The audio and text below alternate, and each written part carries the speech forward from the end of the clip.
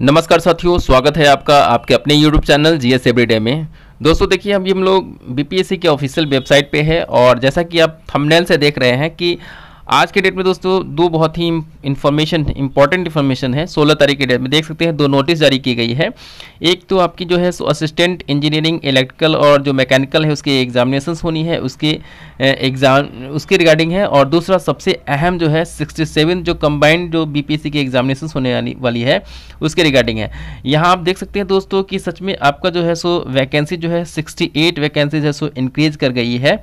जो मैंने आपको पहले बताया था कि ऐसे से ये वैकेंसीज इंक्रीज हो सकती है, पिछली वीडियो में आप जाके चेक कर सकते हैं। और देखिए दोस्तों, ये टोटली जो वैकेंसी बढ़ गई है। तो चलिए दोस्तों, देखते हैं कि इसमें जो वैकेंसीज जो बढ़ी है, वो कौन कौन सी वैकेंसीज है किस किस पोस्ट पे वैकेंसीज आई है। तो चलिए देखते हैं दोस्तों। और आप लोग निश्चिंत रहे दोस्तों, अभी आने वाले समय में जब एग्जामिनेशन होने होने तक है और भी बहुत सारी वैकेंसीज बढ़ने वाली है। तो स्टे ट्यून टिल देन अगर आप दोस्तों पहली बार हमारे चैनल पर विज़िट कर रहे हैं तो चैनल को सब्सक्राइब कर लीजिएगा। ऐसे ही इन्फॉर्मेशन आपको हमेशा मिलते रहेंगे। चलिए दोस्तों चलते हैं हम लोग डायरेक्टली उस नोटिस पर। पहले तो मैं दोस्तों ये नोटिस बता दूँ आपको कि सहायक अभियंता का जो ये जो एग्जामिनेशन है, उसके रिगार्डिंग है। कि ये आपका जो है सो परीक्षा की संभावित तिथि जारी कर दी गई है कि 12 तीन से लेकर के 13 तेरह तीन 2022 तक ये आपकी एग्जामिनेशन दो डेट पे एग्ज़ाम होना है आपका। और उसके बाद ही है सो वैद्युत असैनिक जो यांत्रिक सहायक सहायक अभियंता का जो लिखित परीक्षा है, ये आपको 26 और 27 मार्च को होगा। तो 12 तेरह और 26 सत्ताईस को ये होना है। चलिए दोस्तों, हम लोग चलते हैं बहुप्रतीक्षित जो नोटिस है बीपीएससी का, उसके रिगार्डिंग देखते हैं।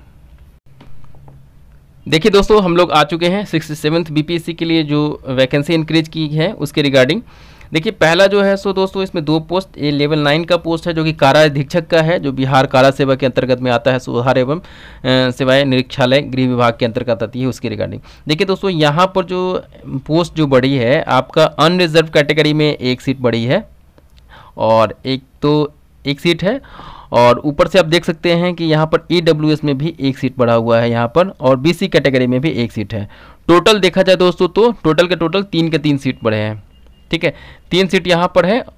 ठीक है? और एक तो महिला के लिए आरक्षित हो गया। चलिए वो। और इसके लिए जो उम्र सीमा है वो क्या कितनी हो गई? बीस वर्ष की उम्र सीमा है। फिर दूसरा जो हम लोग देख पा रहे हैं, यहाँ पोस्ट है लेवल सेवन का पोस्ट है और यहाँ पर जो तो देख सकते हैं जनरल कैटेगरी में पच्चीस पोस्ट है। ट्वेंटी फाइव पोस्ट बढ़े हैं और उसके साथ ही साथ है, सो हर कैटेगरी में पोस्ट है। कि जनरल कैटेगरी में पच्चीस है, उसके साथ ही साथ एससी कैटेगरी में ग्यारह पोस्ट है अच्छा खासा है। एसटी में कोई नहीं है, लेकिन ईबीसी में बात किया जाए तो अट्ठारह पोस्ट बढ़े हैं ईबीसी में, ठीक है? अकेले। बीसी कैटेगरी में सिर्फ़ दो पोस्ट है यहाँ पर और साथ ही साथ देख सकते हैं बीसीएल कैटेगरी से भी यहाँ दो पोस्ट है। E में भी सेवन पोस्ट यहाँ पर बढ़े हैं। तो इस तरीके से दोस्तों, यहाँ पर टोटल पैंसठ रिक्तियाँ हैं, सो बढ़ चुकी है और इसमें से बीस जो रिक्तियाँ हैं, वो महिलाओं के लिए आरक्षित रहेंगी। वो इसमें महिलाएँ दावा कर सकती हैं। और उसके साथ ही साथ आप देख सकते हैं दोस्तों, इसके लिए जो उम्र सीमा है, इक्कीस वर्ष निर्धारित है। ठीक है मिनिमम एजुकेशन जो क्वालिफिकेशन होनी चाहिए मतलब क्वालिफाई करने के लिए जो उम्र सीमा है, इक्कीस वर्ष है। तो इस प्रकार से देख सकते हैं दोस्तों, दो पोस्ट टोटल है, सो देख करके सिक्सटी एट पोस्ट जो है, सब बढ़ चुके हैं। और आने वाले समय में इन दोनों पोस्टों को मिलाने के बाद है सो, आप देख सकते हैं पोस्टों की जो संख्या हो चुकी है दोस्तों।